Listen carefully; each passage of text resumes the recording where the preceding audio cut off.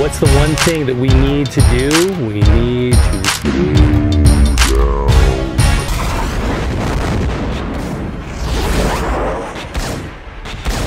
And we are going to talk about it in this video, so check it out.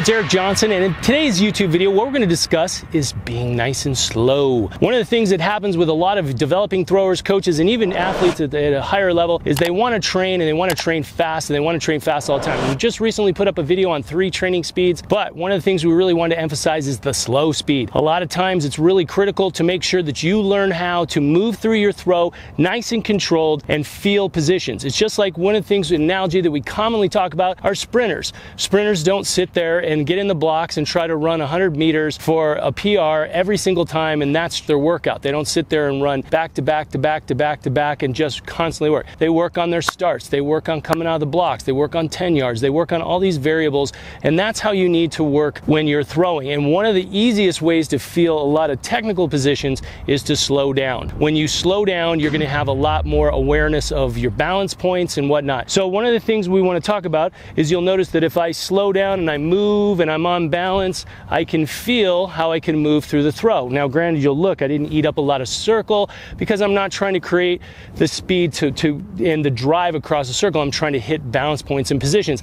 I think one of the best people that you can look at, at that is Ryan Crouser. Ryan Crouser is super slow and, and he often, when you watch him, I watched him recent at a competition and he doesn't even look like he's actually going to throw. And the next thing you know, the shot put's going 70 feet. So his competition speed, he's so works position so he can really feel how to set that up. And that allows him to really accelerate tremendously through his finish. So it's really impressive, but it's a good example to young throwers that it's like, here's the best shot putter in the world, and look at how methodical and controlled he is. He's really working and he understands clearly how critical it is to set up the correct position. So one of the things we wanted to do in this video, again, it's a simple tip, is that when you're throwing, whether it's the shot, and if you just want to see, you're just going to feel yourself kind of being able to move through on balance. If you're moving slow, and you'll notice if I set up off balance and I try to go mm. slow, I'm not going to be able to go slow. You're going to feel where you're falling. You're going to feel if you're under rotating, over rotating, those sorts of things. You're going to feel if you're shifting off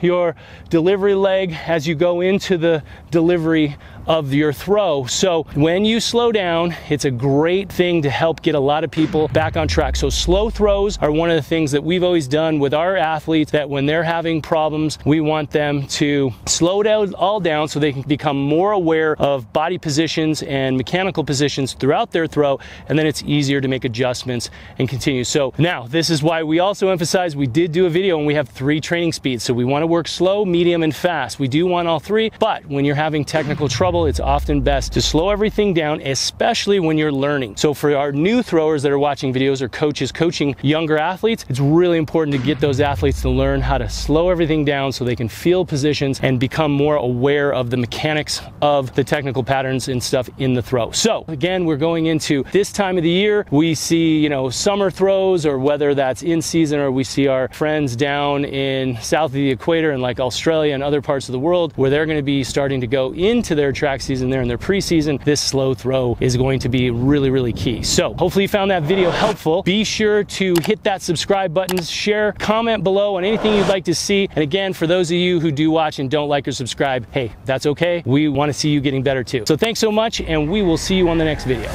Be sure to check out our next videos. Be sure to subscribe. Visit our website for free videos. Click the links below. We have links to our free mini course. Check out our websites for camps and different detailed information. Throw farther faster by understanding the science with the throwing chain reaction system. Thanks so much for watching.